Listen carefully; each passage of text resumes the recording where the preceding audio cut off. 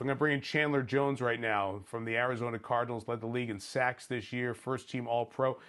Uh, Chandler, you've done your part as well from your area up in Endicott, New York, up in upstate New York, and out there in Phoenix in the uh, Arizona area where you're calling home now, in uh, supporting with getting some meals purchased for folks as well in these challenging times. Tell us what you've been involved with. Yeah, you know, um, I was brainstorming with my team for a while, and uh, what we did was we donated 150,000 meals across Arizona and Endicott, New York, in my hometown.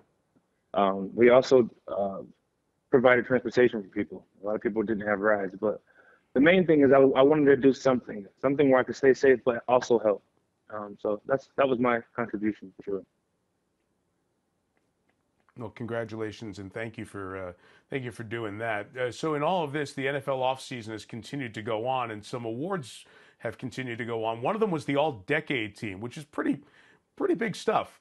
And the Arizona Cardinals, Patrick Peterson, Larry Fitzgerald, and you make the All-Decade Team, along with Khalil Mack and Von Miller at outside linebacker. What did you think when you found out that you were one of the best of the decade? Uh, I mean, that was great news. Uh, but my name being up there with all those other names, I think that's what stood out to me the most.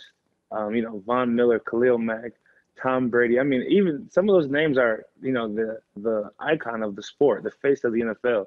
So for my name to be up there along with some of those guys, uh, it felt really good to me, for sure. Of course, of course, some of that happening during your time uh, with the New England Patriots. You've been to three Pro Bowls. Uh, we talked about the success of last year. Take me back to those Patriot days. What was it about your time in New England that helped you become the player that you are now? Yeah, when I was in New England, I truly believe I learned to become a professional, uh, not just on the field, but off the field. Um, but going back to football, uh, they teach you one thing about I admire about them. They teach you so much. They teach you about the little things, um, doing your job, uh, being a defensive player, I didn't even learn defense until uh, maybe my second week of rookie minicamp. They taught me offensive terminology, uh, how the offense works, and I think uh, just the way they think is just different over there. So, uh, starting my career there was definitely advantageous for me, for sure. And when you leave there, you're in a different environment, and you've had you've had coaching changes around you as well.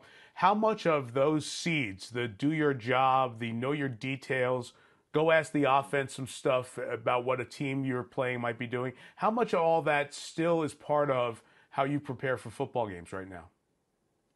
Uh, it helps for sure. Um, honestly, that's all I know how to prepare for a game. I still prepare the same exact way. And I realize that a lot of coaches and a lot of coordinators they do come to me and ask, you know, uh, you know, what did you guys do over there, or how did how were things ran over there? Because you know, it's a lot of success, and uh, and what Bill did over there, he's he's created a dynasty and they've won consecutive years and he has a formula that works. So my biggest thing is, you know, trying to help my team that I'm on currently uh, to that formula, which is the Super Bowl. Let me hit you with a couple of quick things. Tom Brady leaving New England. You still shocked by it? I am still shocked. Uh, there's a TMZ article where I was interviewed, and I said, you know, don't buy into it. Don't believe into it. He's not going anywhere. So. the, the truth has now been written. Uh, the trade with DeAndre Hopkins becoming a teammate there. What was your reaction when that happened? Our offense should be and will be explosive. Um, I've watched his highlights since the day we traded for him. Um, I'm excited to have him on our team, and uh, like I said, I am going to have the front row to the Kyler Murray and D Hop show every Sunday. Give me some insight on Kyler Murray. What does he have that seems to be a special quality that uh, some really good players have? It looks like as you watch him, he may have a little bit of something that extra special thing. Of course. What I admire about Kyler the most um, is to see him prog- progress. You know, if you watch him the very the first few weeks of his career as a rookie, you know, um, I feel like he was trying to figure things out a little bit. If you watch him toward the end of the year, I mean, he was taking over. He was grabbing guys in the huddle. Um, so for me being in my eighth year and watching a rookie evolve before my eyes, um, it's very admirable. So like I've said, there's there's there's a huge ceiling for him, and, and like I said, the sky's the limit for that kid.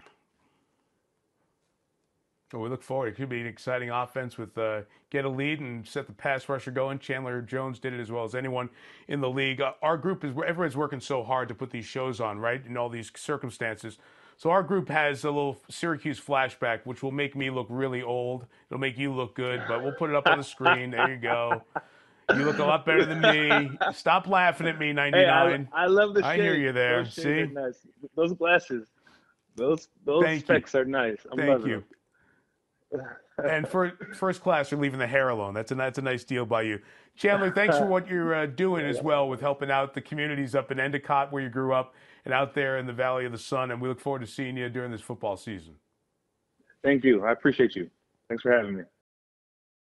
Hi, I'm Mike Tirico, and thanks for watching. Make sure to hit subscribe for the latest news and highlights from NBC Sports.